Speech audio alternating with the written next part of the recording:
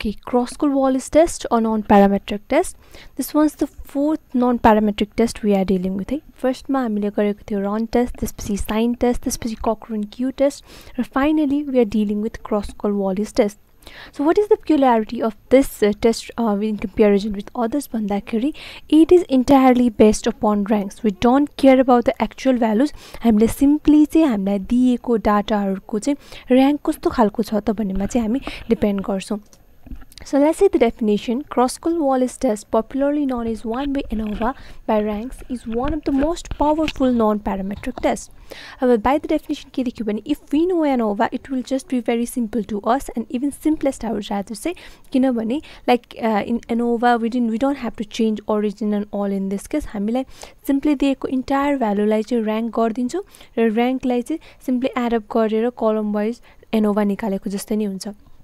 next one it is the most powerful non-parametric test if you were given to choose any one of the non-parametric test to perform if possible cross Wallis test would be the best if we choose होइन अब यसको चाहिँ के हुन्छ भन्दा यसमा चाहिँ to different formula हुन्छ for two different condition the first one is H is equal to twelve by N times N plus one summation I is equal to one to K RI square by NI minus three times N plus one अब as you all know यसमा an भनेको total number of items हुने भइहाल्यो। के भनेको number of rows RI भनेको चाहिँ sum of ranks in that row त्यो र डाटाहरू चाहिँ जुन दिएको डाटाहरूको चाहिँ इन्डिभिजुअल रोमा भएको ऱ्याङ्किङलाई चाहिँ एडप गरेर त्यसलाई स्क्वेयर गरेपछि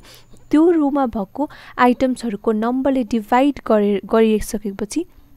को भ्यालुलाई समअप गरेर निक्लेको भ्यालु चाहिँ हुन्छ summation of R square by M यो कसरी हुन्छ we will go through an example minus three times N plus one भनेको त भइहाल्यो। This is applied only in case of non tied ranking non tied ranking भनेको चाहिँ कस्तो हो भन्दा if each data in this given set is non repeated कहिलेकाहीँ के हुन्छ भन्दाखेरि हामीलाई दिएको डाटाहरूको भ्यालु चाहिँ रिपिटेडली आइरहेको हुन्छ। त्यो रिपिटेड भएको कन्डिसन्समा त्यसलाई हामी भन्छौँ टाइड ऱ्याङ्क र अनरिपिटेड सबैको भ्यालुजहरू चाहिँ डिफ्रेन्ट डिफ्रेन्ट छ भने चाहिँ त्यसलाई भन्छ नन टाइड ऱ्याङ्किङ होइन? अब that was for a non tied ranking but if you have a tied ranking case कहिले for example we take blood glucose level of different 10 patients of 10 different patients all the 10 patients may have different blood glucose level or among them to either two or three of them have, can have the same blood glucose level नि त. So if यस्तो similar खालको three patients do have a same blood glucose level भनेपछि तिनजनाको rank त हामीले tight दिनुपर्ने भयो तिनजनालाई एउटै ऱ्याङ्क दिनुपर्ने भयो। त्यो केसमा चाहिँ we have to simply modify the formula all we have to do is divide the denominator by one minus summation T by N cube minus one N त्यति मात्र हामीले गर्नुपर्ने थियो न्युमरेटरको भ्यालु जस्ताको त्यस्तै राख्नु पऱ्यो र टी चाहिँ हुन्छ टाइड ऱ्याङ्किङको सम त्यो कसरी निकाल्छ त्यो पनि हामीले पढ्छौँ through an example so that is all the modification you need to do hope you have got an slight knowledge of what is tied and non tied ranking होइन इफ नट अब एक्जाम्पलबाट मोर क्लियर हुन्छ। So let's go through the first example यसमा चाहिँ के दियो भन्दाखेरि एउटा बोटनिस्ट सम वाट पर्सनले चाहिँ डिफ्रेन्ट लेकमा भएको फाइटो प्लाङ्टन्सहरूको अर्ग फाइटो प्लाङ्टन अर्ग्यानिजमहरूको क्वान्टिटी चाहिँ मेजर गर्नुभयो र उहाँले मेजर गरेर चाहिँ त्यो तिनवटा लेकको मा चाहिँ के कस्तो सिमिलारिटी छ कि छैन भनेर चाहिँ डिटर्माइन गर्न चाहनुभयो र यसमा चाहिँ दिएको डाटा अनुसार हामीले के देख्यो भन्दाखेरि जुन नम्बर अफ प्लाङ्टोन्स पाइएको छ in each lake that from from different place in the three different लेक्समा चाहिँ जुन पाइएको अर्ग्यानिजमको नम्बरहरू चाहिँ डिफ्रेन्ट डिफ्रेन्ट छ so we can rank each items or each data in this given data set in the way like यसरी हामीले rank गर्न सक्छ like two is the smallest value so we rank it one त्यसपछि three we rank it two त्यसपछि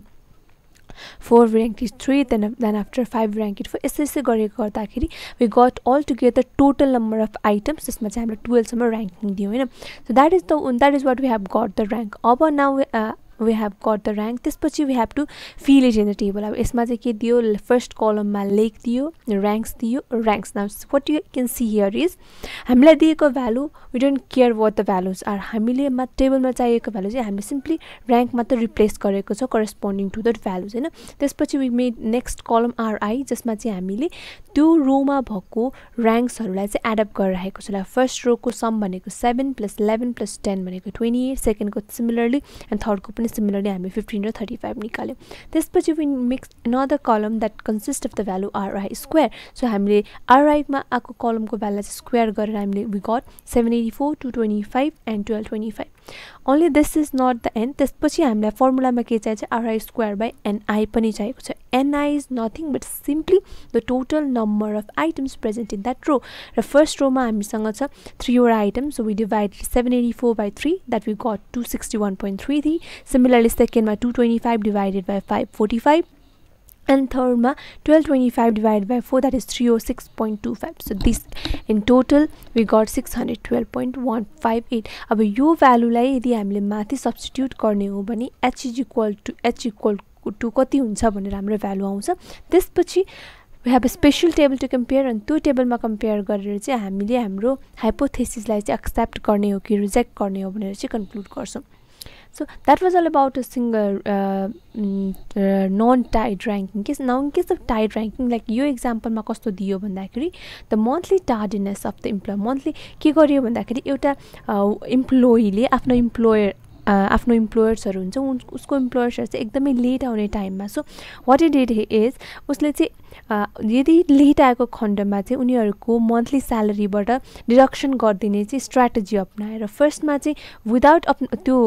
applying त्यो strategy अप्लाउ apply गर्नु बिनाको उनीहरूको जुन tendency of frequency of coming late note गरिएको छ भने मन्थ फर्स्ट फर्स्ट मन्थमा एउटा पर्टिकुलर एमाउन्ट डिडक्सन गर्ने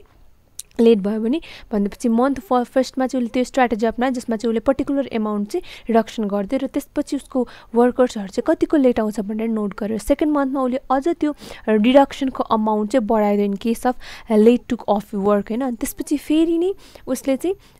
उसको वर्कर्सहरूको लेट आउने फ्रिक्वेन्सी नोट गर्यो र त्यसपछि उसले with the all this data what it try to determine is